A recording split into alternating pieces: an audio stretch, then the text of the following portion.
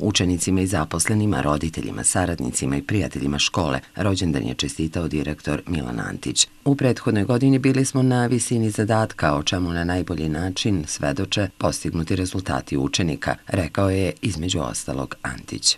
Svoju obrazovno vaspitnu misiju škola je započela davne 1848. godine, a svoje dostojanstvo čuva do današnjeg dana zahvaljujući zalaganju svih nas.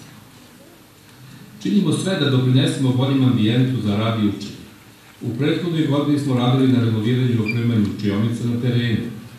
Sve učionice, kako u centralnoj školi, tako i u područnim odeljenjima, su opremljene laptopovima, projektorima i belim tablom. Na tome naravno nećemo stati, jer imamo podršku lokalne samouprave, školske uprave, saveta roditelja, školskog odbora.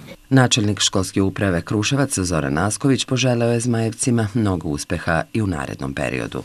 Pozdravljam vas i u ime Ministarstva prosvete, u ime školske uprave i u svoje lično ime.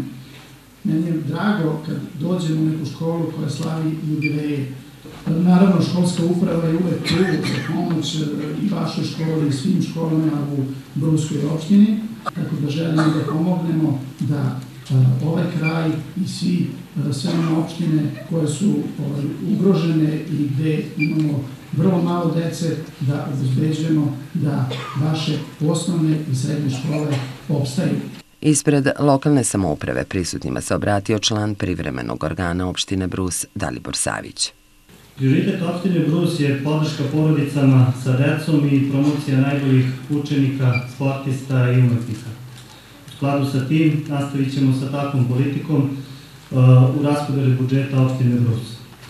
Kao što znate, uveden je niz novih mera kojima finansijski pomažemo roditeljima u školovanju dece, a najbolje učenike i najbolje nastavnike nagrađujemo. Članovi školskih sekcija predstavili su se bogatim kulturno-umetničkim programom. Svečana akademija bila je prilika da se za izuzetne postignute rezultate najuspešnijim nastavnicima uruče nagrade i priznanja. Ove godine nagrađeni su učiteljica Dragana Makragić, nastavnici fizičkog Vesna Ilić i matematike Nenad Milanović.